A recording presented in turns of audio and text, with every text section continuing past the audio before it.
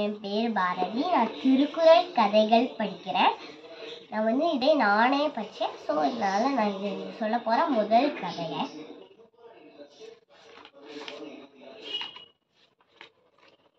கட்டணனா நாயர் பயனன் கோல் வாளறிவன் நற்றாய் துளார் அப்படின்னா நம்ம எதை கடவுள் மேல நம்பிக்கை இல்லைன்னா நம்ம எது படித்தாலும் பிரயோஜனமே இல்லை.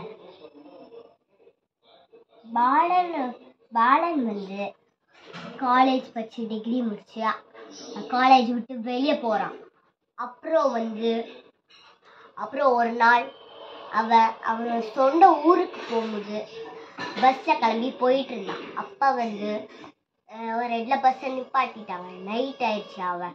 அவனுக்கு ரொம்ப பசி எடுத்துச்சு. அவன் நடந்து போயிட்டே இருக்கும்போது ஒரு விவசாயி வந்தாங்க.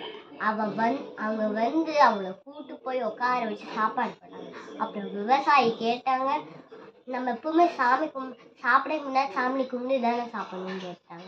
அத்த பாலன் சொல்கிறான் நீ தானே எனக்கு சாப்பாடு போட்ட நான் வேணா உனக்கு நன்றி சொல்றேன்.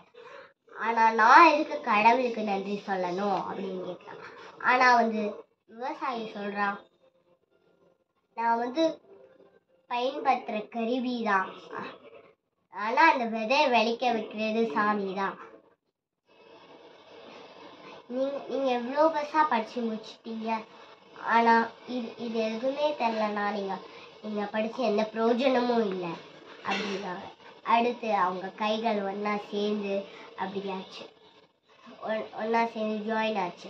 ஜாயின் ஆகிட்டு அப்புறம் அவங்க ஜாயின் ஆகிட்டு கடவுளுக்கு நன்றி சொல்லிட்டு சாப்பிட ஆரம்பித்தாங்க நன்றி.